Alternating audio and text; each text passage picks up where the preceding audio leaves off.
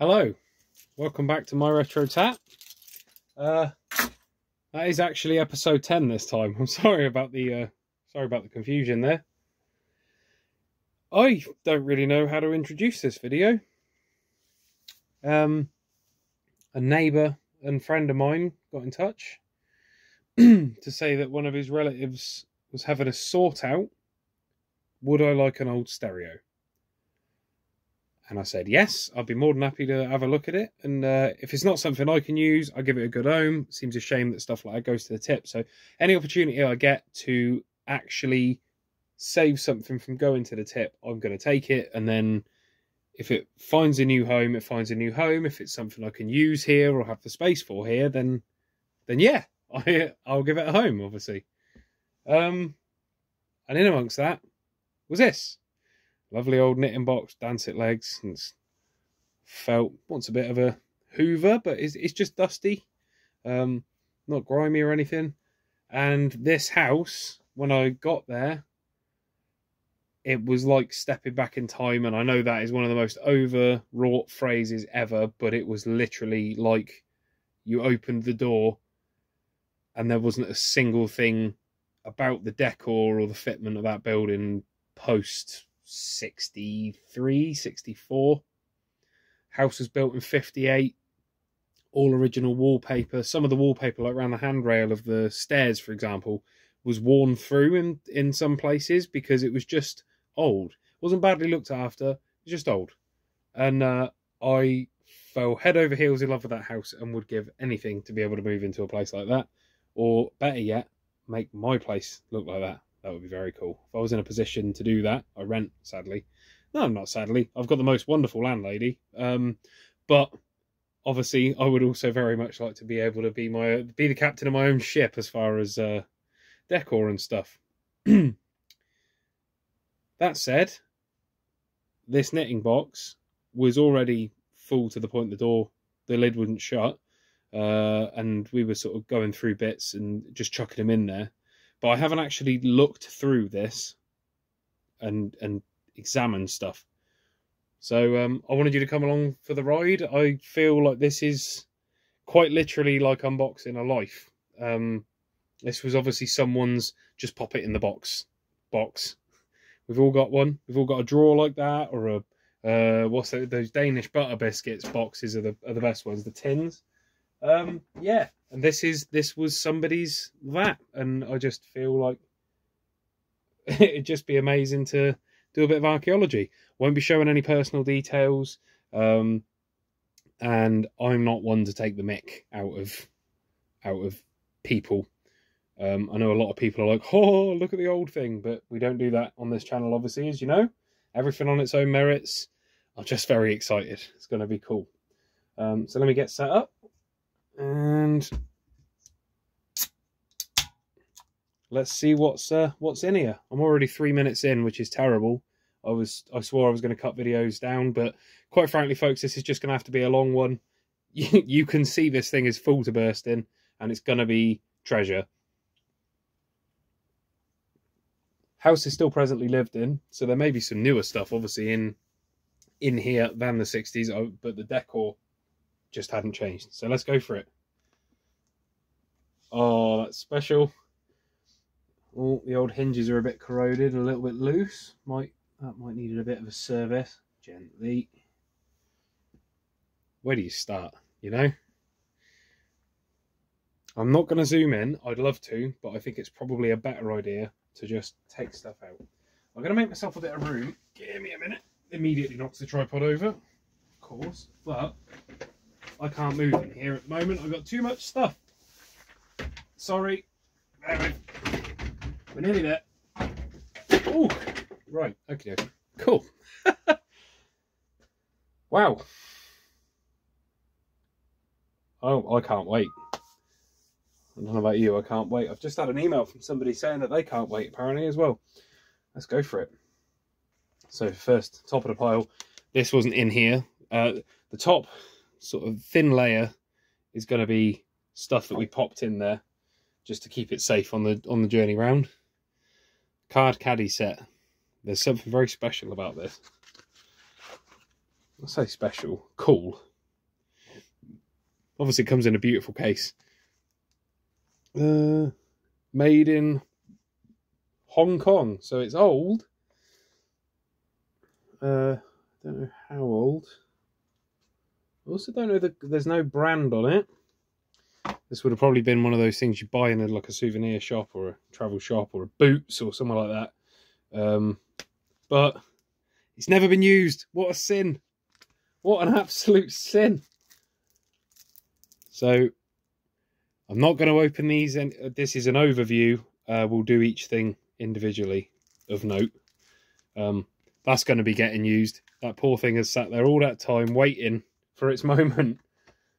It just so happens that my kids like playing blackjack. So there we go. Sorted. Very sweet little uh, Easter Easter bunny card. Very cool. There's like a pouch or something. Would have probably had chocolate in there or something like that, maybe. Don't know. Very cool.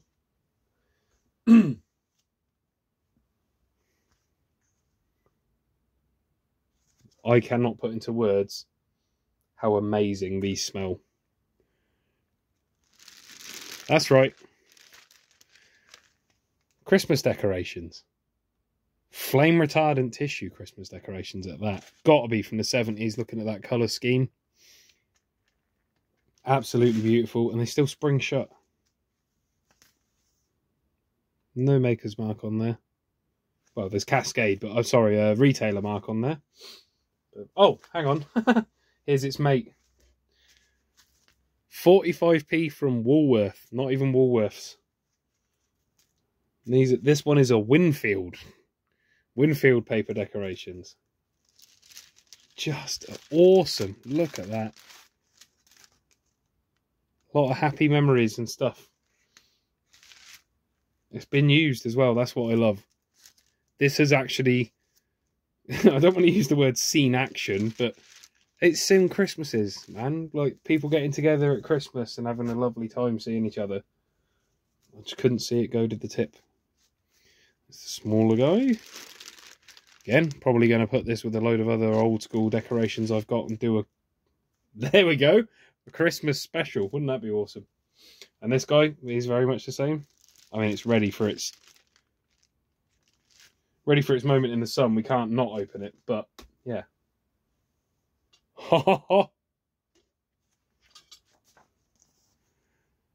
A spring and summer Argos catalogue from 1984.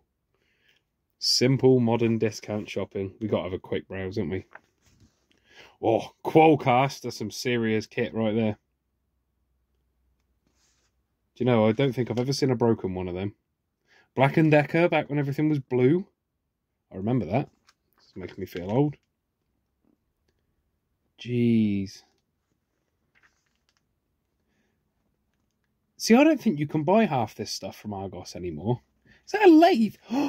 Oh my god, that's a Wolfcraft wood turning lathe kit. I've got the earlier version of this uh, from the 50s in storage somewhere. I'll have to dig it out. Um, and it was Wolf, not Wolfcraft. But geez, you know that's not that's not cheap. Nine pound fifty in nineteen eighty four. Our price five ninety nine.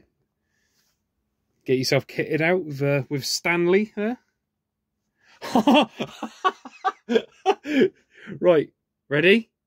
Are you ready? Where is it? The one time I haven't knocked it off a shelf today and I can't find it. Are you joking? Oh, I will be back, my friends. Bear with me one moment.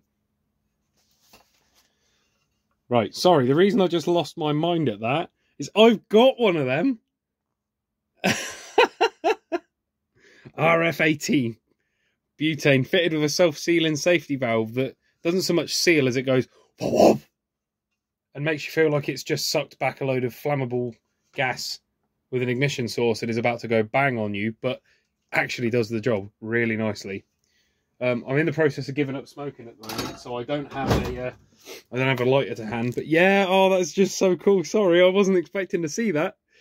Oh, excellent. Oh, you're probably all going deaf right now. I've got a couple of Yankee screwdrivers as well. It's, this is of a time when Yankee screwdrivers were still for sale. All-purpose sharpener. That looks like a useful bit of kit. Bottom left there. I could look at old tools in mag in catalogs. Just everything was so much better built back then. Oh wowzer! Chain alarm, and that's that's some tat I wouldn't mind looking at. Oh, so cool! The old never ready plugs. Amazing. Roof racks. I'm interested to know if they do them for if they're car specific. Doesn't seem to say. Anyway, we're not we're not spending the whole video looking through an Argos catalog because we're going to spend another whole video looking through an Argos catalog. But look at the watches. I'm not really a watch guy, but there is just something about that period. So great looking. Fantastic. Oh, that's cool. This is in amazing condition. Seconda. Oh, yes. Remember these freebies? Just walk into a car boot sale and take those away. Please, God, take them away from me. I, I just I can't handle having this little clock anymore. Look at that Starburst clock. And I've just dropped a load of guarantee cards out of it. And order slips. Those are rare. Kind of wish I hadn't dropped them on the floor now. Right, quick flash to them. I'm putting it away because I could be here all day. In case you can't tell, this channel is something of a passion project. And uh, I do it because I love it, which also means I get terribly, terribly sidetracked. I'm supposed to be looking through the rest of it. So let's do that. Ford. Oh my god. it's a brochure for a 1979 Ford Thunderbird. What's that doing in there? There's no way that Ford Thunderbird would have fitted down that street. Whoa. Okay. Oh, this is awesome. Look at that interior. Sadly, it has been folded for many, many years, so I might have to put something heavy on it and just let it mellow out in here where it's a little bit humid. That tends to at least coerce them to try to be flat. Well, I don't know about you, but so far this is pretty much lifetime finders. Some balsa wood. It feels like balsa wood, it's ever so soft. Okay, there's some balsa wood there. Uh, that might actually be part of this. I don't know. It's hard to. No, it's too. It's not the right shape and size. Anyway, there's some balsa wood. Very cool. uh, what else we got here? What's this? Elm Farm Dairies. Is this the right side? Yep, that's that's what they wanted us to see first. Oh, it's from the milkman. This is from 1978, everybody. Uh, again, last year, hundreds and hundreds of our customers purchased the perfect Christmas hamper and have promised to reorder again during 1979. Oh, so it may be, it may be 1979. I get very excited. Can't help it. Oh, I'm in heaven. Look at the old packaging. Wow. We are definitely going to have to do an old advertising and old literature video on this channel because I love that stuff. Oh, Ashens fans out there will appreciate the uh, canned whole chicken. The less said about that one, the better. What?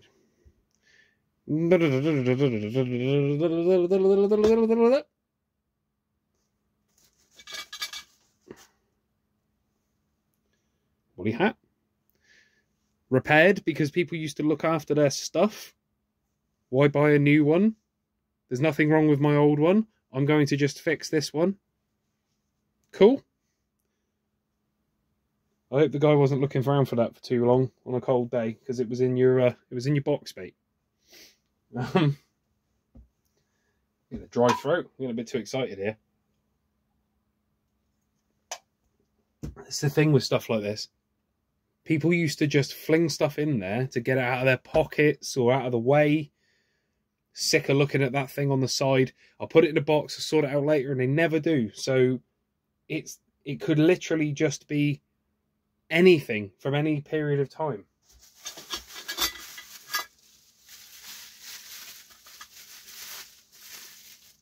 Old co-op bag for the uh, for the retail archaeologists among you. What's in here?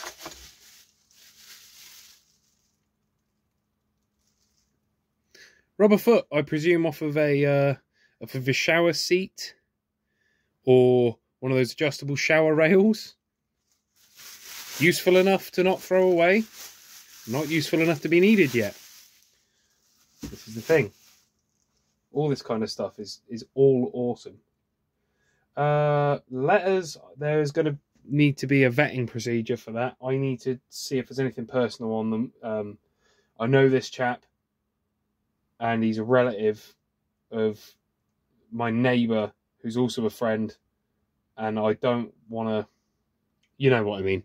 If I'd found this in Southampton, some hundred miles away from where I live, and then come back here, and it was dated 1802, and it was about some personal stuff, a bit different, but this in recent memory. I can see one here that's from Xmas 1980. I don't know if it's an actual typewriter written letter or if it's a circular or what, but I'm not going to, I'll have to pause before I look at those because I'm going to filter out any personal information as best I can. Obviously, I can't help if something's just suddenly popped up so it slips out of the way or whatever. What the hell is that? Okay. Child named M rest of the name obscured for a minute, made made this hat. No, it's not a hat. What the hell is that? What on earth is that? What I do know is it's made out of some beautiful 1970s vinyl.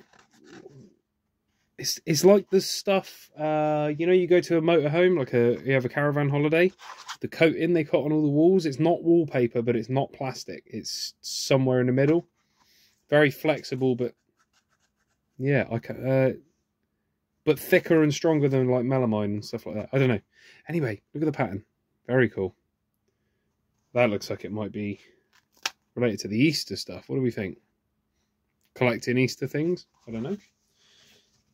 It's nearly Easter. Maybe I'll get my daughter to take it for a spin. Um, Okay, last thing, and then I've got to just pause a quick minute, take the letters out, and then we'll go through the rest. If there's history to be added in the letters without identifying anybody or without any personal information on it, then of course I'll be more than happy to look and show you guys. But I've explained it. I don't need to do any more. Coats ladder mendings. Wow. There you go. Fix your tights. Not uh, not my thing personally, but that's because I don't wear tights. Right, bear with me a hot minute. Okay, I'm in a state of disbelief at this. Um, so I'm going to have to give you a small amount of background information on myself. Oh my god. Before any of what I'm about to say makes sense. Um, I grew up in this village my whole life. Uh, and I love it to pieces. It's a beautiful little village just outside of Oxford. Just outside of Oxford, called uh, Berinsfield. Um, and in looking through this stuff, because I didn't want to identify anybody, because I grew up here, I know a lot of the people that may have sent letters back and forth or written stuff down, community circulars. This person's been up to that. This person had some illness. I don't know, and I don't want to put that sort of information on the internet. But this is like a mixture of a vintage literature showroom and a historical I don't even know monument to the village I grew up in. This village was built on an old American airbase that was used during World War II for P 38 Lightnings and Spitfires, despite the fact everybody says the Americans didn't use Spitfires. They did from here. You can find that out very easily nowadays, but back then it was considered to be rubbish. Anyway, uh, when they left, a load of people moved into the ancillary buildings to the airfield, and a, and a village was established. And it was they they broke ground here in the uh, in the fifties. So it's precious little wonder I'm as crazy about 50 stuff as I am, growing up in a village that solely, there are no old buildings here. It was the first village to be built on virgin land for 200 years. So it's, my, my world is this stuff. And I've just found some awesome old local village voice type things, including one called the Berinsfield Independent, which I had no idea was a thing. Anyway, let's dig in. I've got all the personal information out of the way. It's nothing major. It's uh they had a whip round for a bingo at Christmas, and there was a list of names and addresses on there, obviously. Uh, and there was another, there was an airmail envelope with a list of names and addresses on it, presumably another bingo whip round. uh, directions to a place, and maybe we're going looking to buy a car or something out near Banbury. Nothing, nothing major, but still information I don't want to put out on the internet because it's not to me, it's not my information. So let's dig in. You've probably already seen what I just saw, but look, I want to find the, I want to find that. Where's that in the house? Is that still there? Please? Can we can we find that in the house, please? I think we're going to have to just do a binge. I'm going to start a playlist, I think, just for literature, where I just do silent or maybe royalty free gentle music in the background and just show these pages long enough for people to look at them slash uh, pause to look at. Vauxhall Chevette, son! Oh my goodness, that's an amazing looking car. Oh, my dad's going to lose his mind when I show him that. So my dad had a, a Mark II Cavalier. It was the same shape as the... It wasn't that one. It was the model after. I can't remember. I'm sure it was Mark II. It was definitely barking up that sort of tree. Um, Carlton Estate. That's a rare beast now. They're all rare. Royale. Do you know what? The quality of this paper is unbelievable. It's like it's covered in vinyl. It's amazing, actually. Really impressed. It's no wonder it's better. The pictures are just. I am going to have to do a literary branch of this channel, aren't I? Or maybe a new channel that just does the literature stuff. Right, yeah. So, Let's get stuck into the Berinsfield Village news. This sort of stuff was my landscape. In fact, that wasn't because that burnt down. that burnt down before I was old enough to remember it. But it is a mid-century masterpiece. This village. Um, I know these houses. If you come back up the road this way, you go to the chip shop and what's called the top shops and then the church is here on the green, if that makes sense. Uh, there's an obituary to a Jane Jarrett there. Um, oh dear. Anyway, um, yeah, all sorts of stuff. Berries. Berry's Fancy Goods DIY. Wow, there was a DIY shop. Which whereabouts was that then? That must have been down at the bottom, perhaps. I don't know. My parents will know. What year was this? Oh, this was 83. This was before my folks moved here, believe it or not. Jobs in Berinsfield, working at the family centre and creche. Need a craft project. It's employment agency stuff in here. Look at the edit they made here. They needed to change the date. Just stamped it. Proper, proper old school circular village newspaper. You don't, there just isn't stuff like this anymore because it gets thrown away. It was free, a lot of people didn't want it in the first place.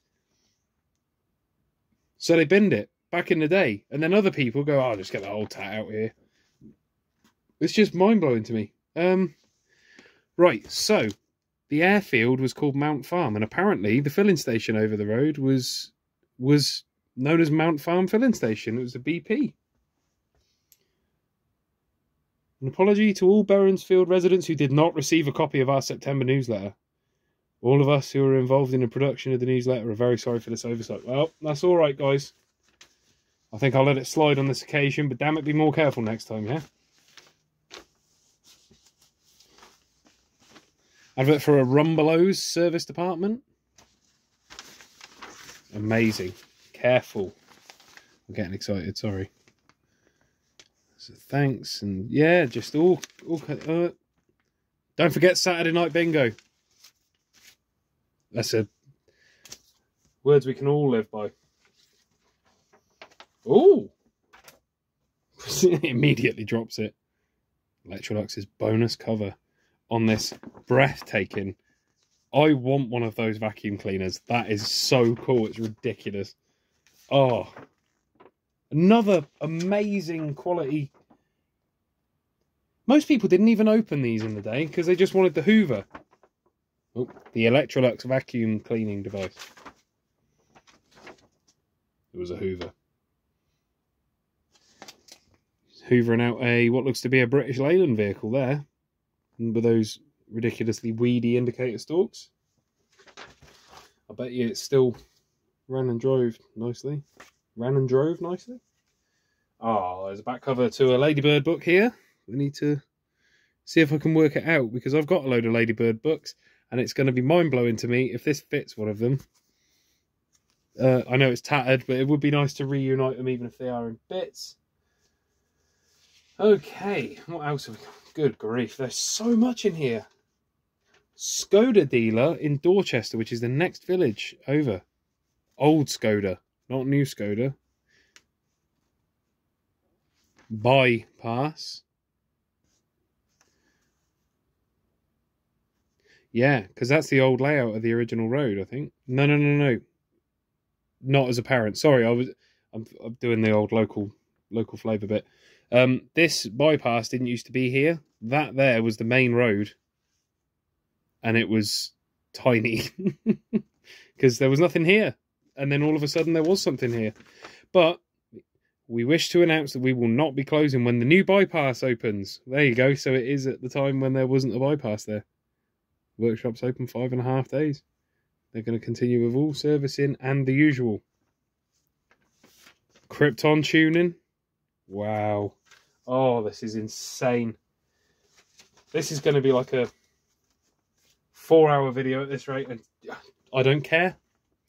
Anybody who's not interested is going to tune out either way, right? So the rest of us who are interested might as well have some fun, even if that's just me.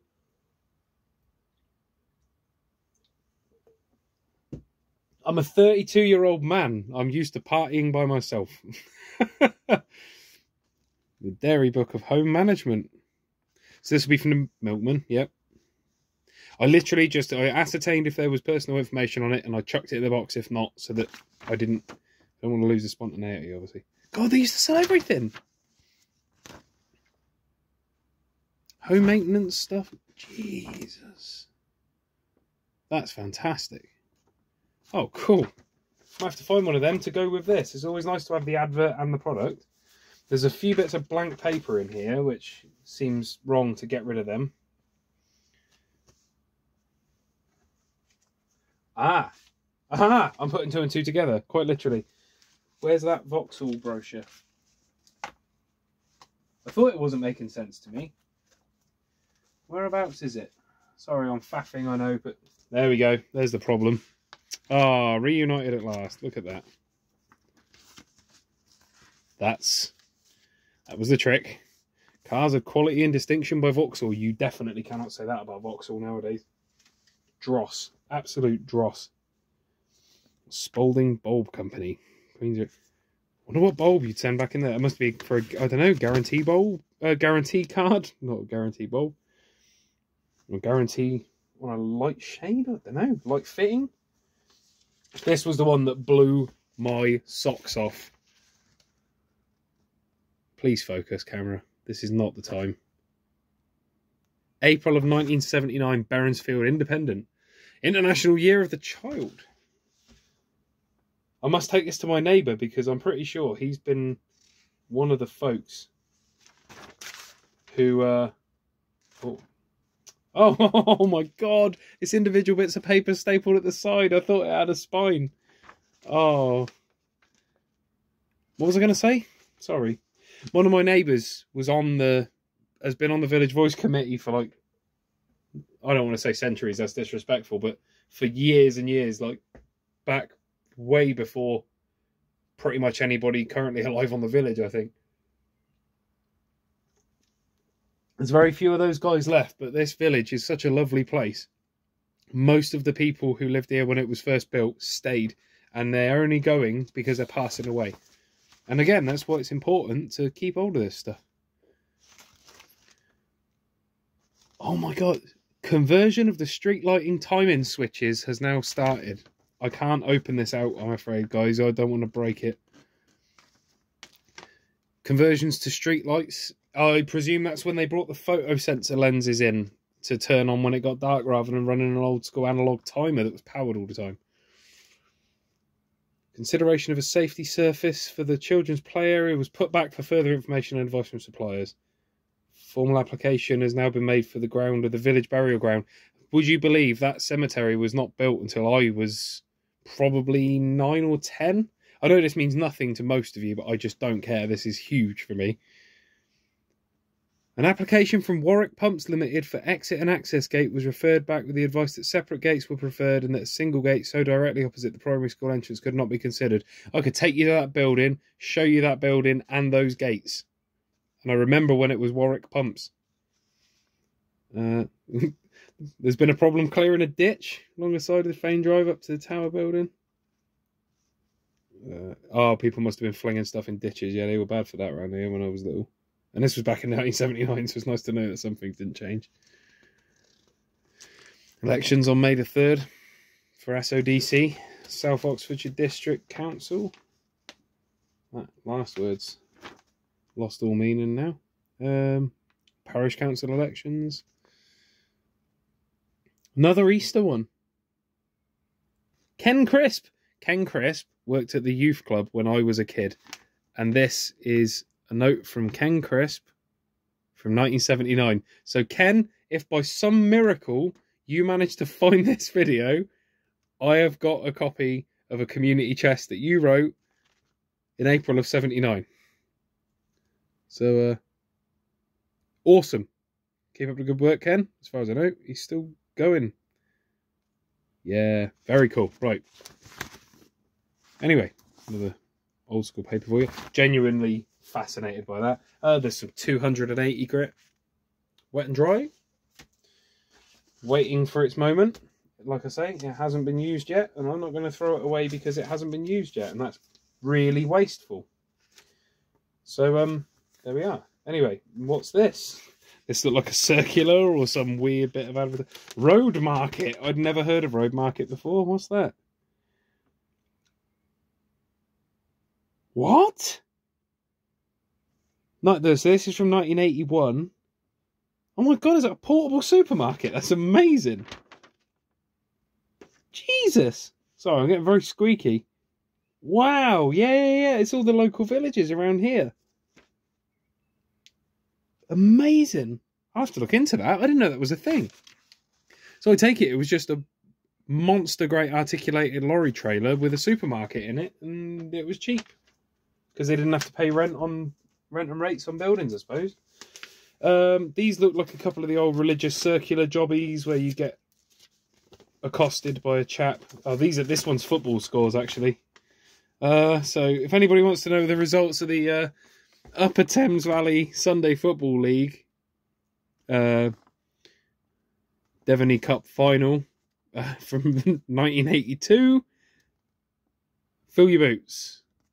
All these folks played on those teams or something. I don't know anything about football. I am probably the least into football it's possible to get without being rude about it. I just, it does nothing for me. Not trying to make a point, not doing that attention seeking thing. Oh, I'm not into football, but I'm just, does nothing for me. What's this? Councillor Michael Hugh Jones, report number 29 from Christmas of 1980. Um, oh god. Okay. Yeah, that's all getting very um new 1980 Housing Act has come into force. Uh, that's too much detail in there to quickly show you without standing in front of the camera for ages. An old church uh, leaflet like you'd get on a church service. What's this for? Oh, it's Christmas 1981.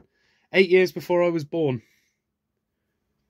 I bet this poor thing didn't know it'd end up in my grubby mitts. Awesome. Not religious in the slightest, but there's just something about these old Christmas brochures. I went to a a uh, county primary school doing the hymns in assembly every morning. I'm not religious in the least, but they did used to know how to make Christmas really exciting. so whenever I see stuff like that, I yeah. It gets quite cool. Um another road market. April of 82.